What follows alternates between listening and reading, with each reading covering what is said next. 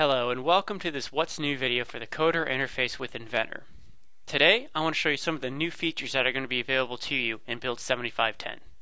Some of the new features that are going to be available to you will include the decimal precision by property type, as well as more properties, which we can use to create fabrication drawings or quotes for budgetary purposes.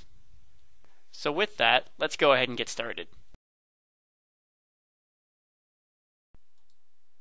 Before I get started, let's have a quick refresher on how we can export our models from Compress or Inspect into Autodesk Inventor.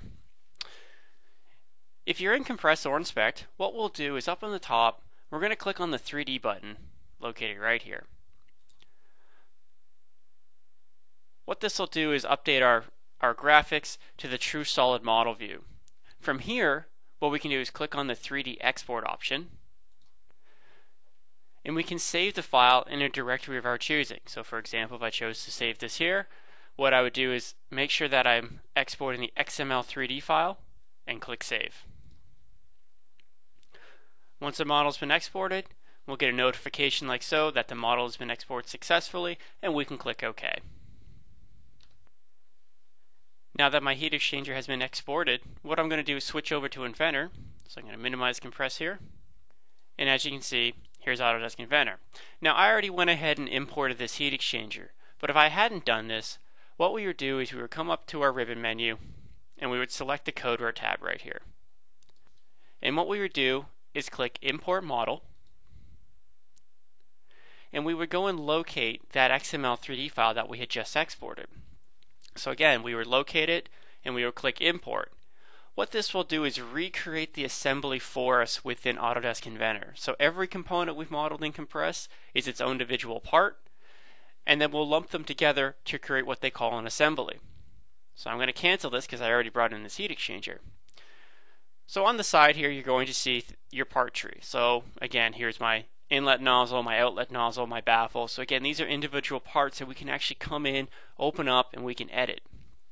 I'm going to switch this over to our modeling view like so.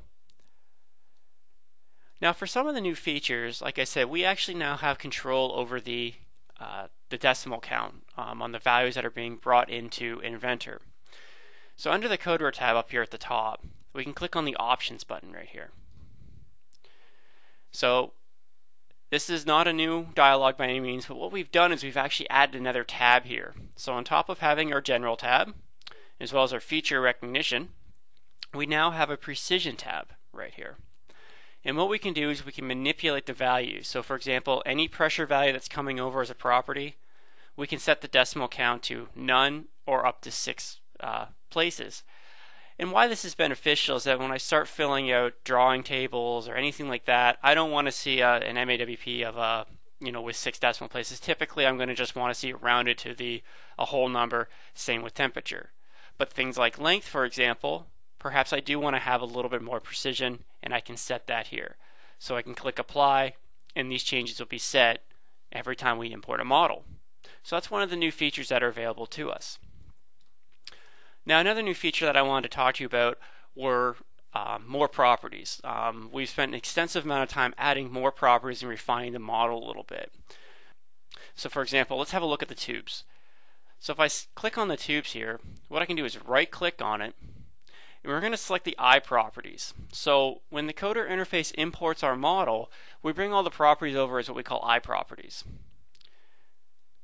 So here's our iProperties dialog, and we apply them as custom properties here. So when you're going through this, uh, one of the big properties that we put in were the bend radius. So why is this beneficial? Well, this is a U-tube. We need to order the tube bundle. So we can actually set up a design table on a drawing and we can actually have it populate with these values so that I can actually get a bend schedule for either quoting purposes or even fabrication purposes as well. So properties like that have been added. So something else you might want to put on there would be the cut length, for example. So you can see every tube or every tube row will have the values populated here as well.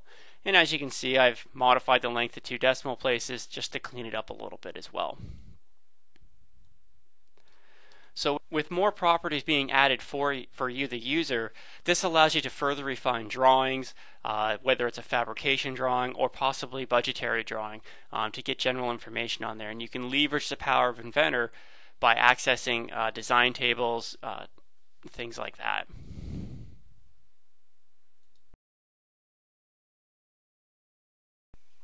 I'd like to thank you for watching this What's New video for the Codeware Interface 7510 with Autodesk Inventor. If you have any questions or you'd like to see a demonstration, please email sales at or give us a call at 941 927 2670.